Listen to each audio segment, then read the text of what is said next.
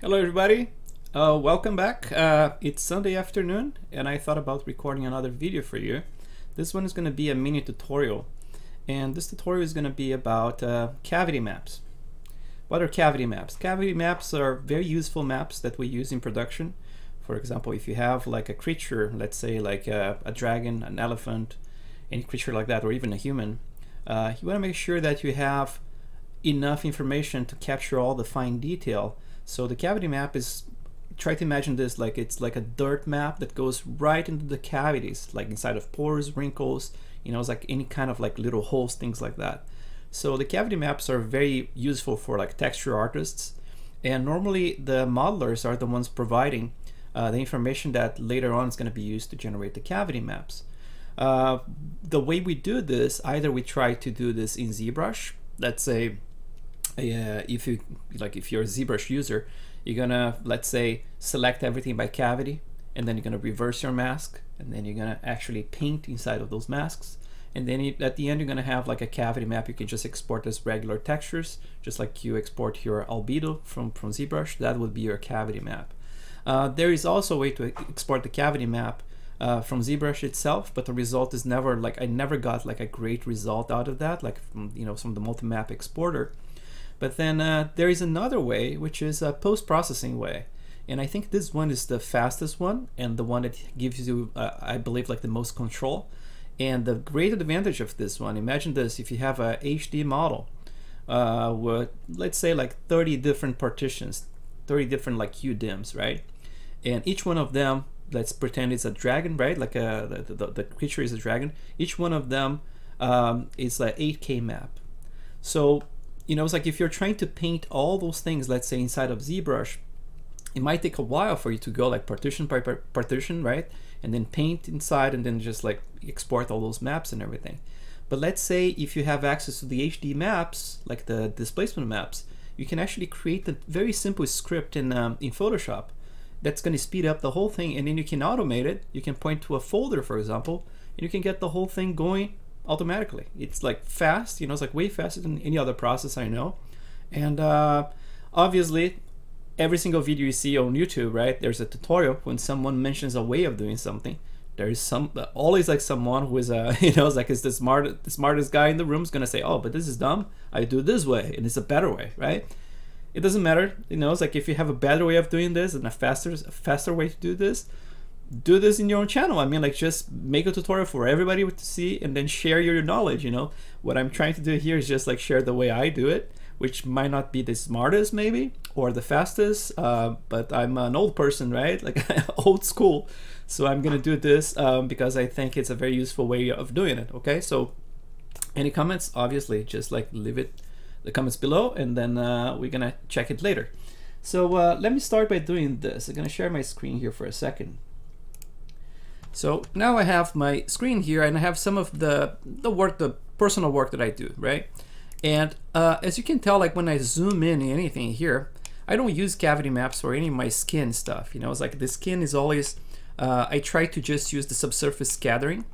And the subsurface scattering is actually uh, penetrating those pores and everything because I'm using, uh, uh, I, am actually telling Arnold, uh, which is the render engine I use, to actually uh, scatter inside of the, the micro displacement. So you use like a bump as displacement. So any little cavity is going to be filled with uh, scatter, right? So that's why I get like some definition in my pores without having to use cavity map, right?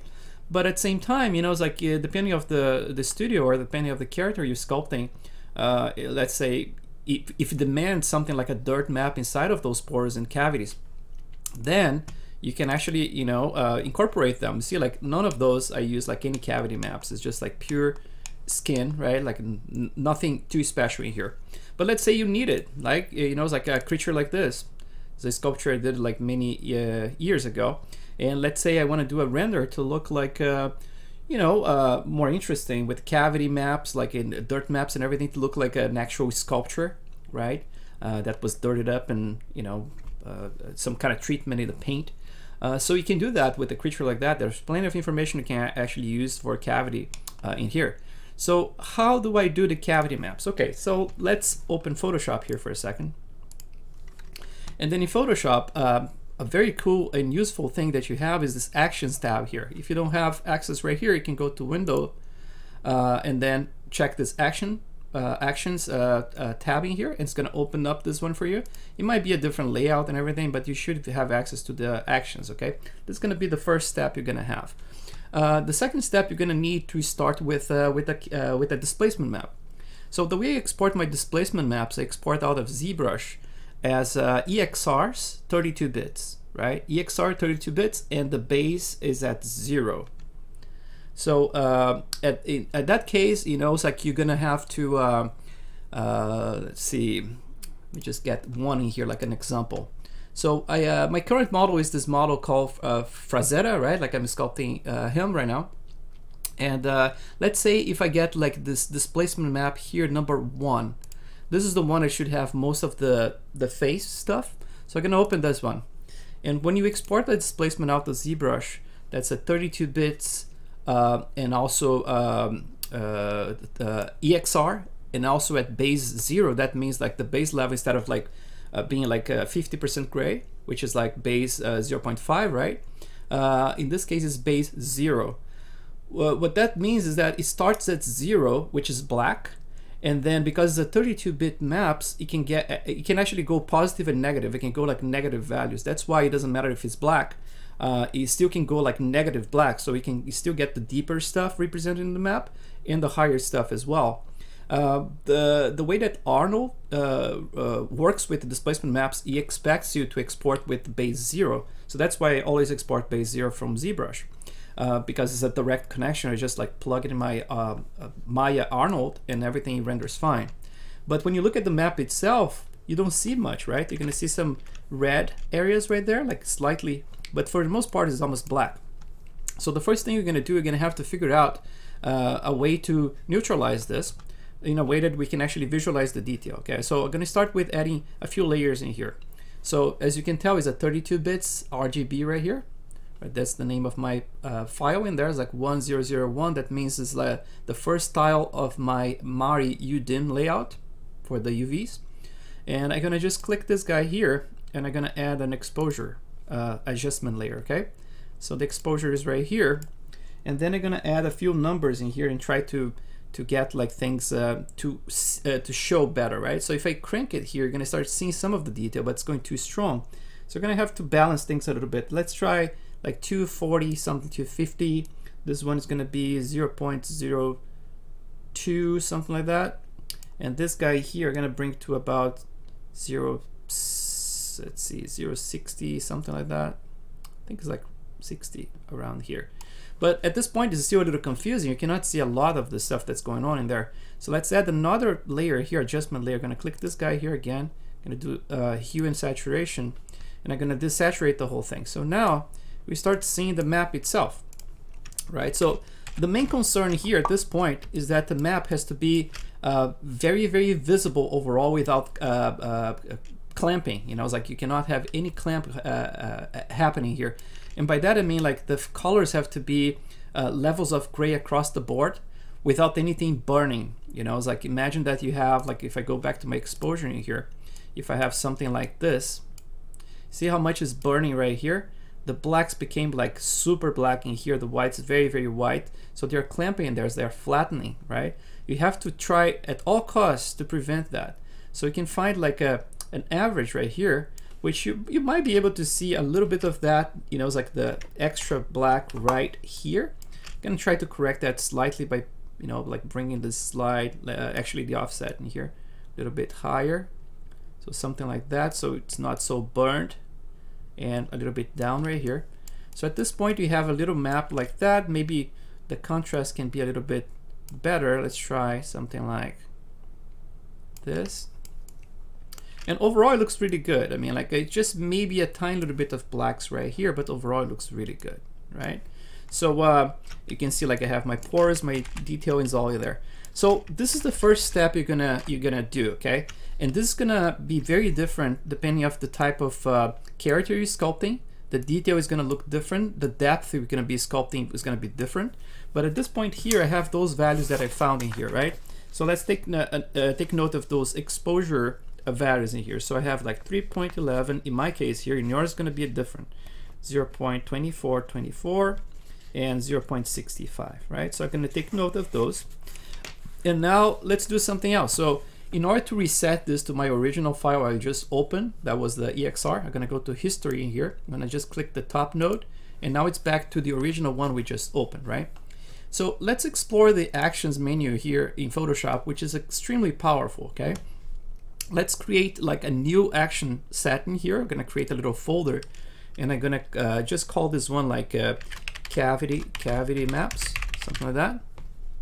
And then I'm gonna click on it and I'm gonna create a new action now. So this is gonna be the action in here.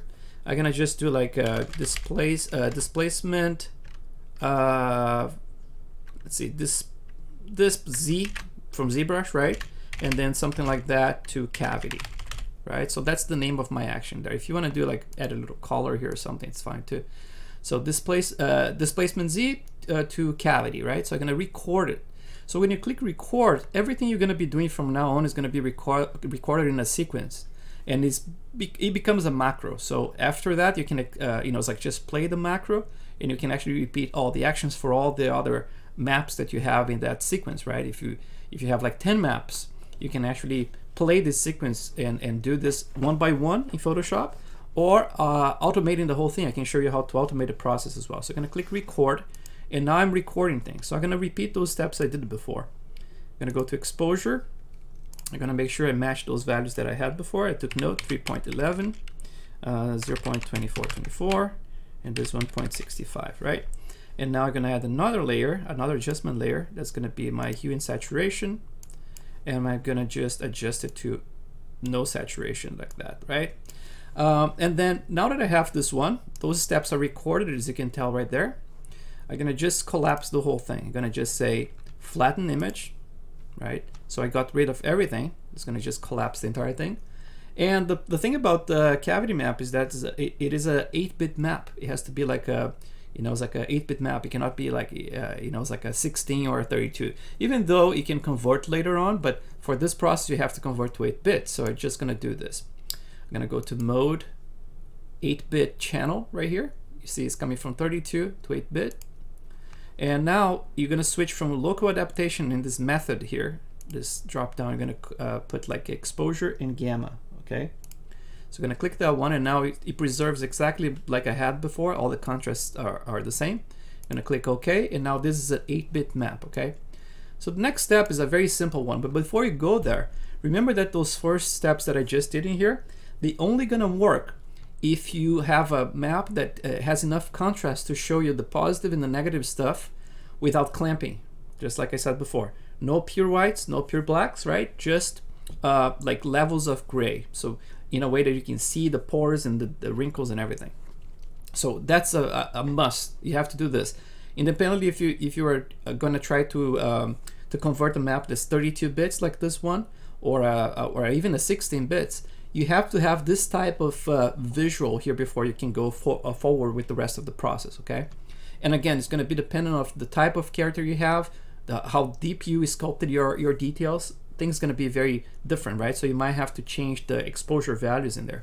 But uh, visually, that's kind of like the result you expect to, to have for it to work, okay? So from this point on, you're going to go to Filter, and you're going to go to your Filter Gallery. So in Filter Gallery here, it's already pre-selected for me. So we have this uh, poster edges right here, right? Poster edges, it's a very cool little filter that does that. So it posterizes the whole thing. So it's gonna go in, uh, you see like those areas in there, they're around the pores, uh, you know, it's like the, the blackheads in the nose. Those are all the pores we had. If you're familiar with ZBrush, the way you export the, uh, the cavity maps out of ZBrush, you're probably very familiar with the way this looks already. It looks a lot like it. Uh, the posterization here, obviously, if you increase more colors, uh, is not going to do anything for you. It's you rather have something very low, like a zero or like a one is still, you know, like it's going to just incorporate more and more levels of gray if you keep going higher in here. But at, at zero here, you have pretty much like a black and white map, which is what we want, right? Uh, for the edge intensity here, you're going to see things going to change. Let's go like zoom in in here. So I'm gonna go to one, for example, uh, zero, right? So that's a very, very tiny kind of level of cavity map. I would rather use something a little bit bigger like one, for example. And the thickness here as well is gonna influence. So the thickness is gonna show how much detail you can get. So you can actually play with this and see uh, how far you wanna go in terms of the thickness of the cavity. So I would say like four for me works, something like this. So four, one for edge intensity and then zero for posterization. And I'm just gonna click OK. So now I have a map that looks like this. All I have to do is to just add another uh, adjustment layer. I'm gonna just put like uh, levels in here. Click levels. And then I'm gonna bring this slider down all the way until I get like a fairly black and white kind of map. So I'm gonna just zoom in in here. Let's see something like that. And then let's say maybe I can crank a little bit of the black in here towards that direction and then the white towards this direction until I have like a fairly white map altogether. So white just with the blacks in here uh, as detail, right? So at this point here, I'm happy with it. I'm just gonna close it. So let's do another time here. Let's just collapse this entire thing. Gonna go here, like this little menu here. Click on it. Gonna say flatten image. Then I'm gonna click this image here, click in the layer, drag it to this plus sign. So it creates a copy of it. And now let's do two little things. Let's uh, actually multiply this one. I'm gonna click multiply, so it's multiplying with the lower layer. And then the lower layer, we're gonna do a little bit of an adjustment here. This is optional if you wanna make it prettier, right? So I'm gonna click the layer in the bottom and I'm gonna just go and say uh, blur and then Gaussian blur. And I'm gonna just do like a very tiny blur of like 0.5 or even lower if you want, optional. And then I'm gonna go to the top one now, click on that one, and I'm gonna say the same thing. I'm gonna go to Gaussian blur, and I'm gonna say, let's blur it higher. Let's say one, for example, double that. So 0.5 and then one. So now I have a, a smoother version of my cavity. It looks pretty nice. And I'm gonna just collapse this entire thing again. So let's say, uh, sorry, a flat image. So it's all flattened again. Now I have my cavity map, perfect, ready to go. So let's just save it. I'm gonna save as, okay? And I'm gonna do something here. I have my source images. That's my inside of my Maya folder where I save everything. I'm gonna create a subfolder in here uh, just for us to, um, uh, let's see, new folder. Let's just do like a cavity. Just gonna name like that, right? And I'm gonna save this guy right here not gonna change anything. Maybe the profile, just remove it. And I'm just gonna say save, okay? And then I'm gonna say okay, I'm not compressing or anything, so it's uncompressed uh, TIFF, so save. And then now I can actually close it without saving. So now I can stop my action right here. So at this point I got this entire thing recorded, right? So uh, the way that it works is like this. At any point, you can actually turn on and off any of those actions independently here. So I'm going to turn off the save and close the last two steps because I don't want to close it so we don't see the result.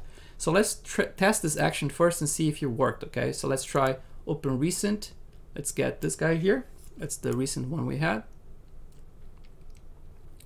So we open right there. So let's test it. To, in order to run it, you're just gonna click this little, uh, the name of the action itself. So this Z to cavity. gonna hit the play button and if you're lucky, we're gonna get everything ready in, you know, in working. So that's what we got in there.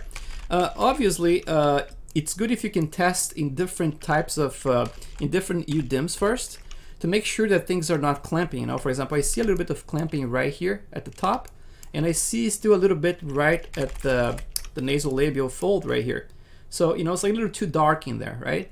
But again, like it, it all depends on how good was your adjustment at the very beginning when you use the exposure layer, right, to get things uh, rolling. And if you can prevent like uh, some clamping in there, it's very likely you're gonna get a better map than this one, okay? So now we have a map saved in there. So how you auto uh, automate this whole thing? Because that would be very cool if you can automate, right? So I'm gonna just click this one. Let's say you have a folder with multiple maps. Let's uh, let's do this. Let's um, go over here and let's copy a couple of them uh, to another folder, for example. Let's uh, convert like this one here actually uh, oh, this one, and then number three, and then the number five. So like one, three, and five. I'm gonna copy. I'm gonna just create another folder here, just for you to, you know, so I'm gonna just name it, oops, sorry, uh, displacement, displacement, okay? And then so I have displacement and a cavity. So I'm gonna copy those three maps inside of displacement in here, and I'm gonna delete the one I generated in cavity, right? That was uh, when we copy, uh, actually when we saved, we saved inside of a cavity.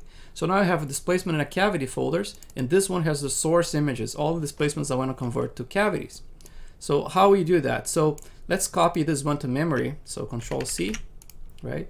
And let's automate this whole thing. So we're gonna go to File, Automate, Batch. Gonna click that one. I already have things set up in here. The way it works is like this. If you have an action selected, like this one, once you open this interface, it's going to pre-select it for you. So it's going to show you right here, right? Uh, obviously, you can switch to any of the other subfolders in here and then any other action inside of them from here. But by default, if you have that selected, it's going to populate for you in here, which is what you want. So you're going to have, uh, you make sure that you have as a source a folder and you're going to click choose and then in choose, I'm going to just paste it. So this is my folder where the displacement maps are. So this is going to be the source, right? Uh, for the destination, then you're gonna switch. By default, I think says none in here. You're gonna click uh, folder as well. And then you're gonna go, instead of like displacement, you're gonna go one level up, you're gonna put cavity. So this is the empty folder that we have now. And you're gonna click this button here that says override uh, action uh, save as commands, right? And then you're gonna turn on those two options here. We're gonna keep those ones off. So it's gonna be override action and include all subfolders to be off and the other two is to be on. For the for this one here, it says stop for errors by default. You're to switch this to log errors to a file. And then you're to save as, uh, and you're to put like anywhere in your hard drive. In this case here, I'm saving my documents in here, right? Like it, it can be any name. It's just for it to kind of redirect, you know, it's like if there is an error, instead of stopping the script, it's just like kind of like redirects to that, uh, that little file.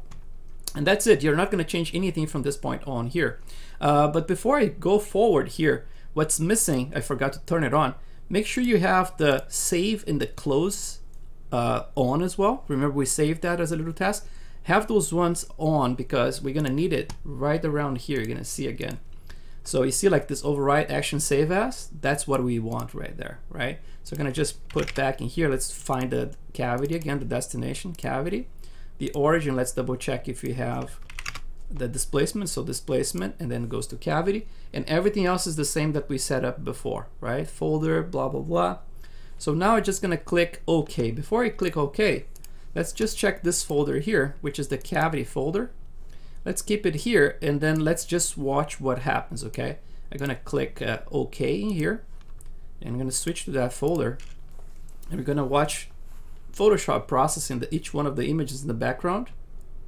And if you're lucky, you're gonna get them to save right here in this folder. So it's gonna go to the second one now. One is already exported.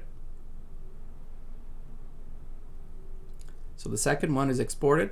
This one is probably like a, doesn't have a lot of detail. It's probably like ears and neck. Um, and then obviously you have some, if you have some artifacts, you can fix that in Photoshop, right? So maybe not the best choices for my maps because, you know, it's like the first one is probably really good. So that's the one we did first. You can zoom in, you can see all the cavity maps are in there. Right, so things are good.